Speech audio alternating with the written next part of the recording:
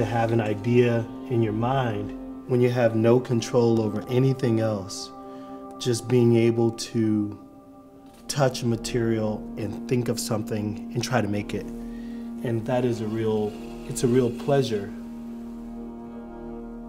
When it became evident that this virus was going to have a significant impact, it meant that I would have to shift significantly how I work.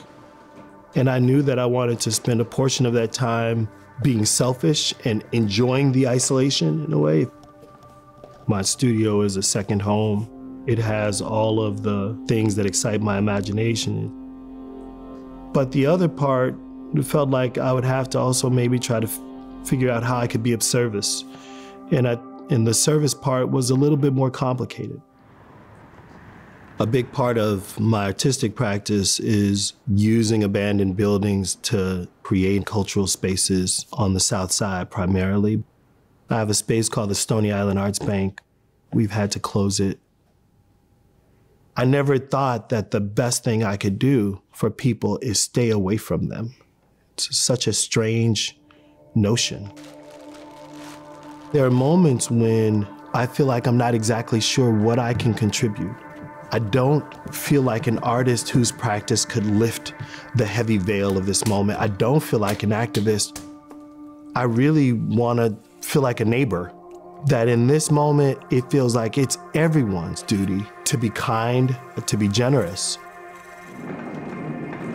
In the moment when I didn't know what to do, I would call my friend Jared Friedman, who happened to be the creative director of this company, Citizens of Humanity. And he said, Hey, man, we're gonna stop making jeans and we're gonna make these masks. And I was like, I want in.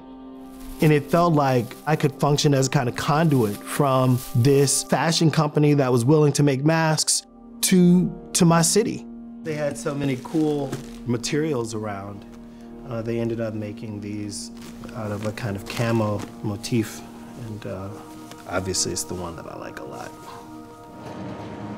we will direct 1,000 masks to the Chicago Food Depository because it felt like those workers and those in need of a meal could both benefit pretty quickly. It's clear to me that it actually requires times of crisis for the everyday person to also recognize that they're extremely creative and resilient. They're actually not far from the uh, solutions.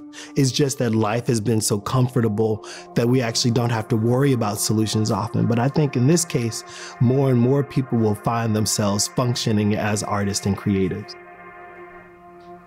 When I think about what culture might look like at the end of this, I think it's going to be less about market driven things and more about creative people who want to get together in their living room or get together in the basement and spend time together.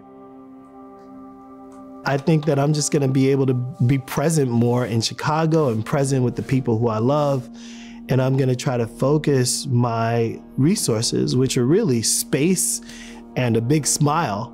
I'm going to try to focus those resources on the people who I care about and try to do as much as I can locally.